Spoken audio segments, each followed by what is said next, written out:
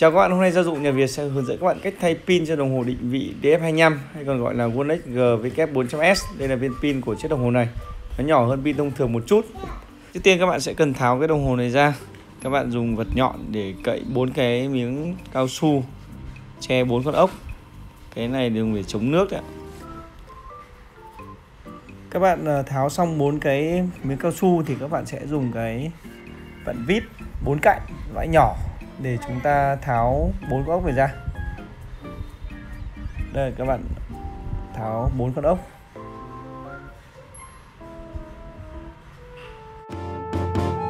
Các bạn lưu ý là phải à, cẩn thận, không là cái ốc này sẽ bị rơi ra ngoài và không tìm được. Chúng ta tháo luôn cả hai cái ốc ở nắp sim. Phải tháo luôn cả sim ra để phòng nó bị kẹt. Đây là khay sim cái này có thể hơi khó thì bạn phải cậy ra. Và bạn nhìn thấy sim đang nằm trong tôi tháo luôn cái sim này ra. Ok. Tiếp theo các bạn uh, cậy cái mặt. Các bạn lựa khéo vì uh, nó khá khít nên chúng ta sẽ cậy lựa đều xung quanh. Ok bạn thấy nó ra rồi đúng không ạ? Cái đồng hồ chống nước này các bạn nhìn thấy cả gioăng cao su khi mà cậy được ra thì chúng ta sẽ nhấc cả khối ra và chúng ta sẽ nhìn thấy viên pin. Đây là viên pin của đồng hồ này. Viên pin có kích thước khá nhỏ. Chúng ta thấy cái dây pin hàn vào mạch và để nhìn rõ cái vết hàn thì chúng ta phải tháo hết cái lớp băng dính này ra. Nó vẫn còn dưới cả cái dây cắm nguồn và các bạn sẽ phải tháo hai con ốc của cái chân sạc. Trong lúc tháo các bạn cẩn thận, đề phòng bị đứt dây thì khá phiền phức khi chúng ta hàn lại. Nhấc này ra. Và chúng ta sẽ tháo hẳn cái dây cắm màn hình cảm ứng ra thì mới hở được cái chân hàn của pin. Tháo này ra. Ok và cuối cùng là chúng ta tách cái lớp băng dính che cái chân hàn của viên pin ra để có thể tiếp cận được cái chân này.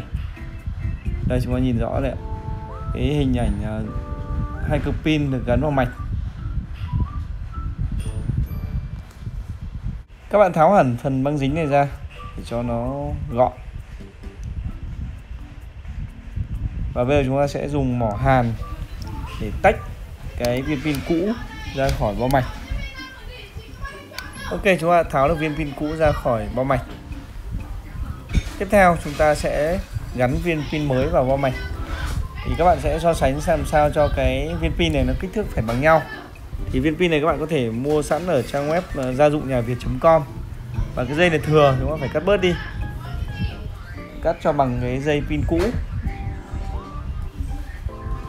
các bạn cắt khéo nó chập mạch hai đầu nhá. Cho cái kìm cắt đi.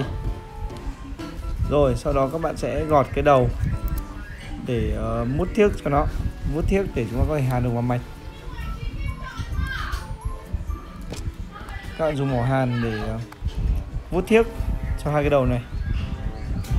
Bây giờ chúng ta sẽ hàn cái viên pin này vào mạch. Đây là viên pin mới các bạn sẽ hàn chân đen vào cực âm. Ở mạch này thì cực âm là phía trên ok, ngấu thiết là xong. Sau đó ta sẽ hàn cực dương và dây đỏ vào chỗ phía dưới. Các bạn cần hàn cho ngấu thiếc và không để bị chập vào nhau. Ok, xong.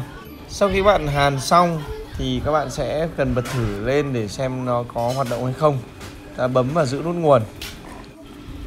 Ok, bạn nhìn thấy đồng hồ đã khởi động lên. Vậy là việc thay pin đã thành công chúng ta sẽ tắt đi để tiến hành à, lắp ráp lại cái đồng hồ. Chúng ta sẽ làm ngược lại với các thao tác mà chúng ta tháo ra. Đầu tiên là dán các cái lớp băng keo này để đảm bảo nó cách điện tốt.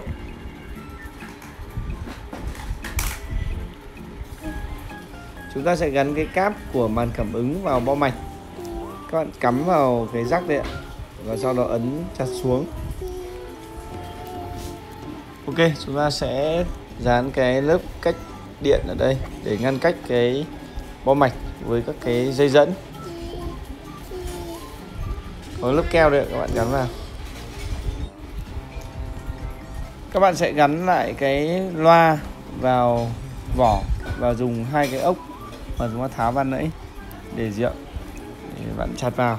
Cũng có thể khớp cái viên pin lên xem đã đúng chưa. Đây, hai con ốc lúc đầu tháo ra đây đây là cố định cái loa vào cái vỏ.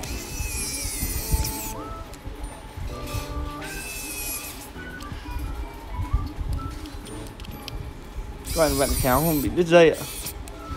Rồi, và viên pin này có kích thước nhỏ hơn pin bình thường nên nó vừa với cái đồng hồ này.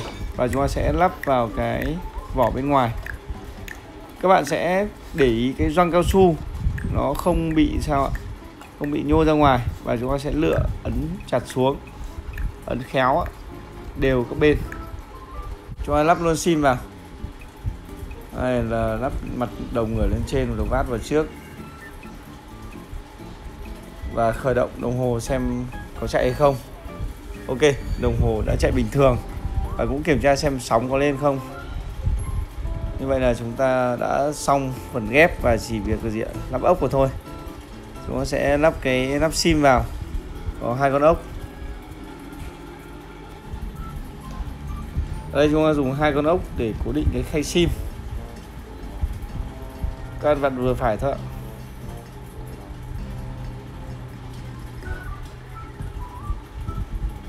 Ok, và vặn bốn con ốc ở phía sau máy.